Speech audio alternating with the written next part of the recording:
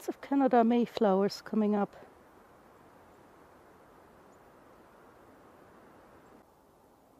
They seem to love this area right underneath those pine saplings. The entire ground is covered with Canada mayflowers here. So we've got rattlesnake plantain. And then this looks like dewberry coming up.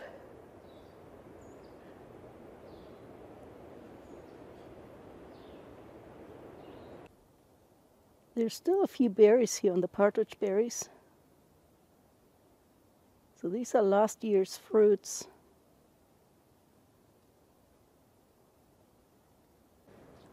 So here we have some robin's plantain.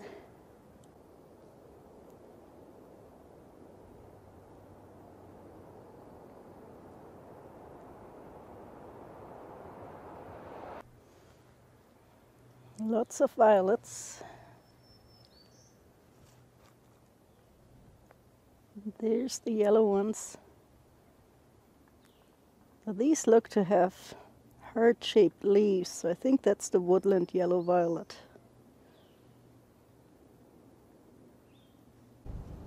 So we got some toothwort. That's the cutleaf toothwort. And here we've got some star chickweed. So this is our native chickweed. Has much larger flowers than the non-native one.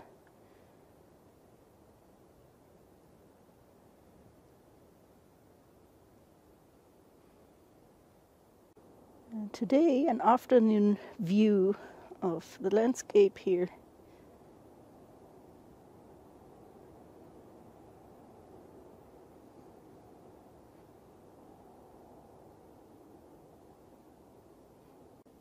We can see a lot more trees now starting to leaf out.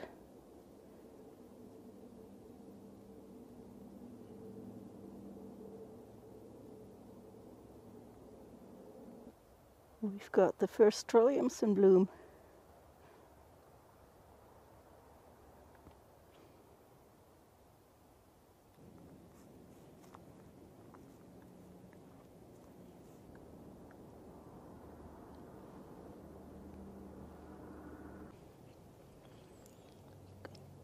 Got some lilies coming up.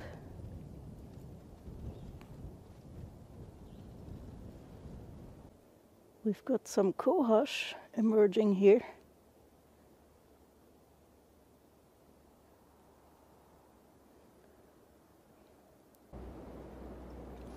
The bloodroots are pretty much done blooming. So maybe the last of the bloodroots in bloom. This trillium just starting to bloom. And we've got some large flowered bellwort.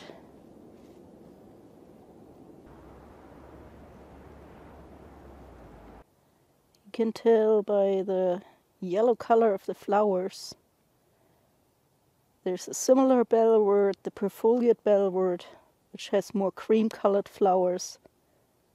And there's a sessile leaf bellwort, which is even smaller with white flowers.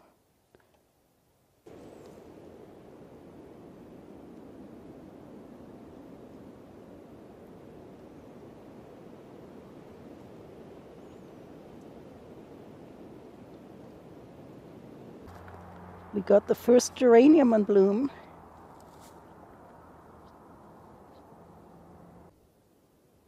The golden ragwort is now nicely in bloom.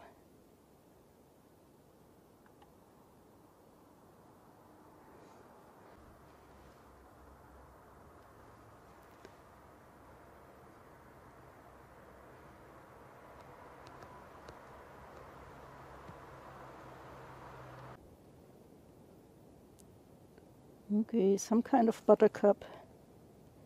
Not sure which one. Oh, the meadow rue's just starting to bloom.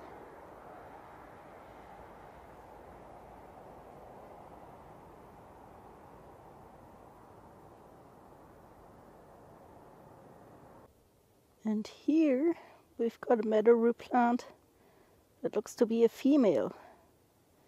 So these flowers have the pistils. This is a pistillate or carpellate flower. And these will later give rise to the seeds after they have been pollinated.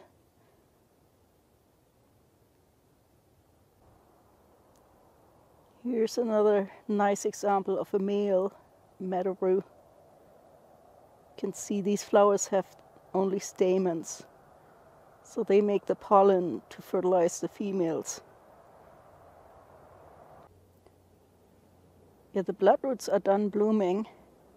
They're making seed pods now.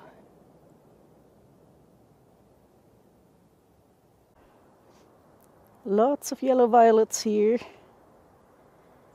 These have the more heart-shaped leaves. So these are probably woodland yellow violets. If we look at these, yeah, those leaves are heart-shaped. And the flowers often are on the same stalks as the leaves.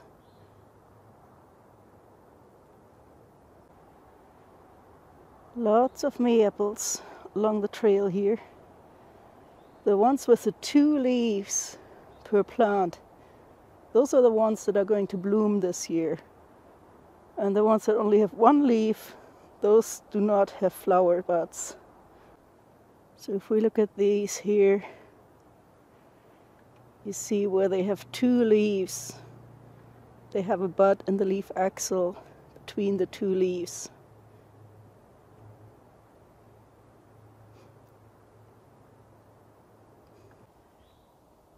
So here we have some jack in the pulpits coming up. They have these trifoliate leaves, similar to trillium, but quite different in the vein pattern. We've got the first jack in the pulpit. Little white violets.